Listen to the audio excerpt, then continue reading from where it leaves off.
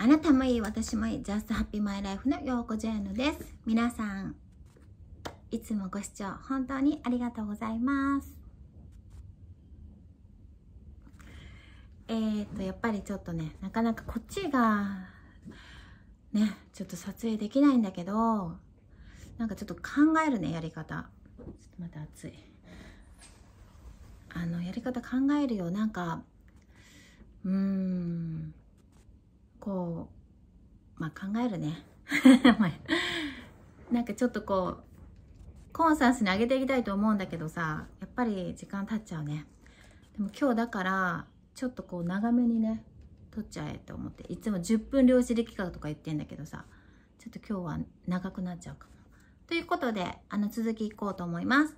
え、ー、と、いつもね、こちらの村松大輔先生の量子力学的習慣術っていうところから、えーと、抜粋して私なりの解釈を入れながら説明させていただいてます。で結構これやっぱ好評なんで、あの、再生回数もちょっと伸びつつあるんですけれども、どうかしら皆様、私の説明大丈夫？なんか、あの、なんかさ、この説明もいいんだけど、私のこの小話も面白いみたいな感じで言ってもらうのすごい嬉しいです。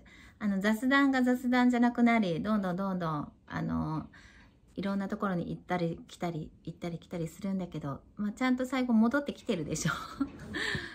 お許しくださいませ。で今日はあの何も書いてきてないの。あのいつもホワイトボードとか紙に書いてきてるんだけどちょっとやっぱりこうなるべく分かりやすさっていうよりもそのコンスタンスに預けてあげていった方が YouTube はいいんじゃないかっていうことでちょっとなるべくね上げていきたいなと思います。皆さん応援お願いします。えーと、どこまで話したっけな、前。それさえもさ、前30分ぐらい話したからもうさ、見返す時間がないんだよね。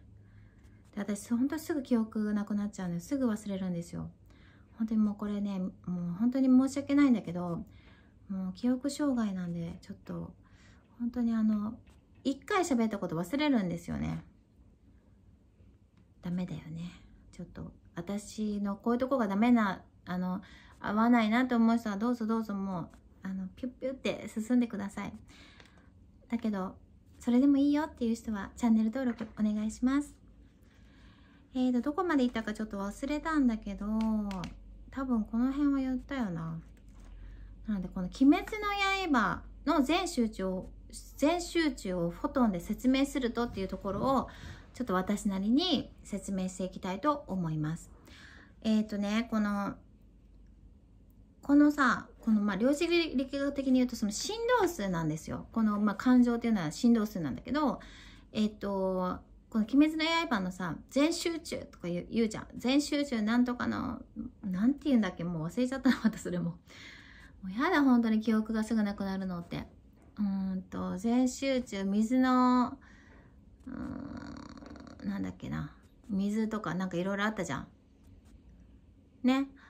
うんとなんだっけな水のなんだっけももうんとなんとかああもうやだ本当に忘れちゃうなんだっけなんかあるじゃんあのまあ、かまど炭治郎だよね。かまど炭治郎の水のなんとかっていうのがさ、あ、書いてあるわ。全集中の呼吸ね。水の呼吸。あ、呼吸ね、呼吸。水の呼吸とかってやってんじゃん。水の呼吸とかって、この全集中、水の呼吸なんとかとか言ってさ、やってるあの子の全集中って何ぞやっていう話なんだけど、これもフォトンでちゃんと説明できるよっていうのが、この村松先生がちゃんとこちらに書いてくださってるんですよ。で、私あの、もうすぐほら忘れてたけど、めっちゃハマったの、鬼滅の刃。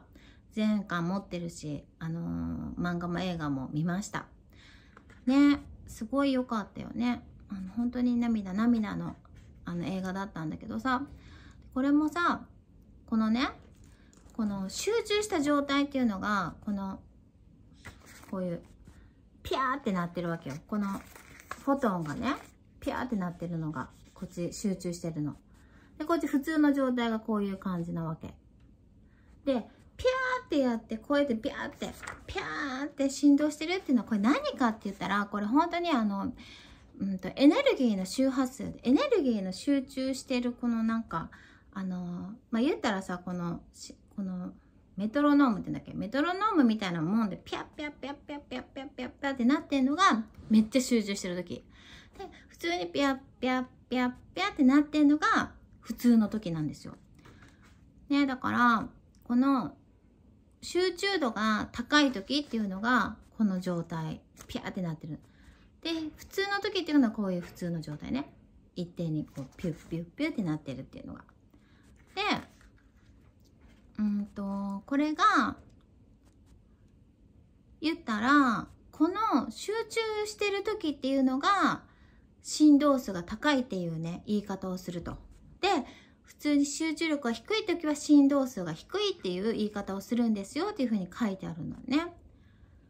で、えー、と、このね、この炭治郎たちがやってるのは、やってるこの全集中っていうのは、意識を高めて振動数、つまり周波数を上げることっていうのを言うことだというふうに考えれば、超人的な力が出るっていうことも納得できますって書いてあるわけよ。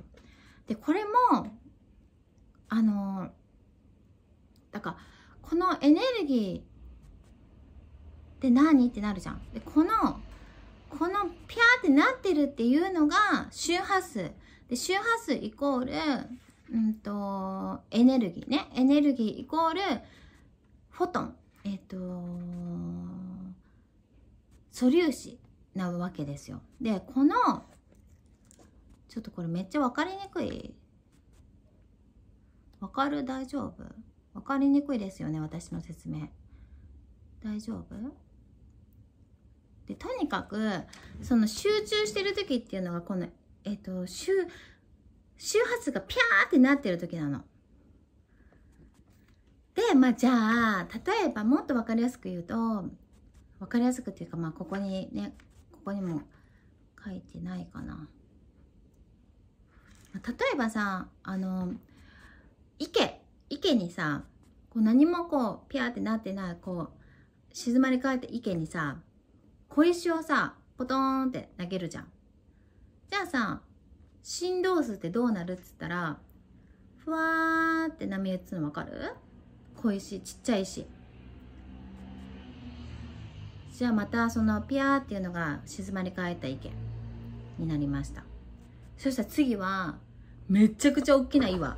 もうこんな大きな岩をダーンってその池に落としたとするじゃんそしたらどうなりますか？ブワーって波打つじゃん。でしんあのこうあのビヤーってデーンって投げたらさビヤーって波打ってさそれがさふわーってこう広がっていくのもちょっとこうあのー、ちょっとこう刺激強めて分かります？それがエネルギーであり、フォトンなの。めっちゃわかりやすくない？で、その、大きな石を投げるっていう、投げた後のこの波打ちが集中した時のエネルギーとか、この嬉しい時のエネルギーとか、喜びめちゃくちゃ幸せとかめちゃくちゃ嬉しいっていう時のエネルギーが、そういうもう、この静け静かなところに、な池にね、プールでも何でもいい。に、大きな岩をガーンって投げたような振動数が、喜びのエネルギーとか、めちゃくちゃ集中した時のエネルギーとか、私がこうやって YouTube 撮ってる時のこういう集中のエネルギーなんですよ。わかる？これ分かったんじゃない？ね？だから、私たちが集中したりとか、何かエネルギーをすごく出したいなっていう時って、本当にこの自分のこの魂のこの魂ね、このここのさ、全集中、ここの魂にさ、ブワーンって、一石とか、いもう一石じゃない、もう大きな岩をバーンって投げるぐらいの集中力が必要なんだよってこと。で、これちょっと私的なこのスピリチュアルなことにちょっとなっちゃうと、これ私ね、あのー、願いを、願いを定めるっていうふうに、こう、マンダーツって自分で作ってんですよ。すぐ強。あの、ダーツのな、ダーツみたいに、ダーツにね、自分の願いが真ん中にあるとしたら、それをね、めがけて投げるの嫌で。それが願いを放つっていうことなんだけど、ここに定めて願いを放つっていうことなんだけど、これも言ったら、すごくこの量子力学的には合ってるってことなんだよね。それ何かって言ったら、ここのダーツにめがけて、真ん中にね、矢をめがけて、ぐわーって投げる、この集中力っていうのが、この願いを絶対に叶えてやるんだっていう覚悟になるわけよ。で、この覚悟と集中力が高ければ高いほど、その願いがすごく叶いやすくなるって言うんだけども、それは何かって言ったら、その、まっすぐに願いを放って、願いの矢を投げた時の集中力がなせる技なんですよね。これうまく説明できたんじゃない？今。分かったでしょ？これ。ちょっと私のあのサロン入ってる人でマンダーツ知ってる人ならさ、これ分かったでしょ？量子力学とも繋がってるんだよ。だからね、本当にすごいのよ。本当に。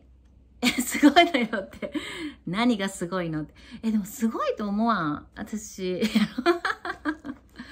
え、でもなんか本当に、この量子力学を知った時に、あの、私結構すごいかもってちょっと思っちゃったんですよ。そう、なんか、じゃあ全部この説明できるようになっちゃって、いや、でも本当にそういうことなんですよ。まあいいや、それはね。で、分かりましたかね？これすごい分かりやすかったんじゃないかな。そうなの。って感じかな。大丈夫？ちょっと今日この辺にしとこう。ちょっとあかん今日なんか本当に全集中できない。なんか、前の動画から6日ぐらい経ってるから早く動画を上げなきゃと思ってさ、ちょっと今日ごめんなさい。めっちゃ嫌々撮ってるんですよ。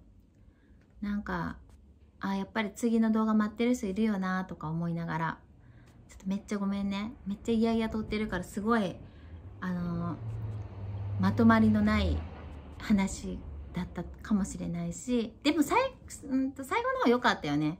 あの、この意見にバーンって岩を投げるっていうのは、すごい分かりやすい表現だったんじゃないかなと思うんで、もう私は一発撮りなんで、私あの見返しもしないんですよ。本当にダメな女でしょ？一回通ったら見直しもせずそのまま動画上げるっていうスタイルなんですよ。もうね、何喋ったかまたね、確認するのが本当にもうダメなのめんどくさくて。だから私の動画は本当に穴だらけです。どうぞ突っ込んでください。ということで今日本当にあのダルダルなんだけど、ちょっとやっぱりあの続き待ってる人がいたらちょっと悪いなと思って頑張って撮りました。感想いただけたら嬉しいです。でもアンチコメントだったら他にあのアンチコメント入れるぐらいだったらさもう見ないでほしい。わかった？あのアンチコメントを入れるってことはあのちょいちょい入ってるんだけどもすぐ消してるんだけどアンチコメント入れるぐらいのこのなんだろうなエネルギー持ってんだったら他でやってくれよね、せっかくそのさ、怒りのエネルギーも結構強いわけ。怒りのエネルギーって結構強いんで、もったいないよ、こんなところでアンチしてるのが。本当にどうぞアイスクリームを食べて、心穏やかにして、アンチコメント、これは載せるべきか否かを問ってくださいよ。やめた方がいいよ、そんなもったいない。もったいないよ、時間がね。エネルギーの無駄遣い。どうせならハッピーなコメントをみんなに伝えてください。ハッピーは必ず伝染するから。ということで、今日も一日ありがとうございました。またね。バイバーイ。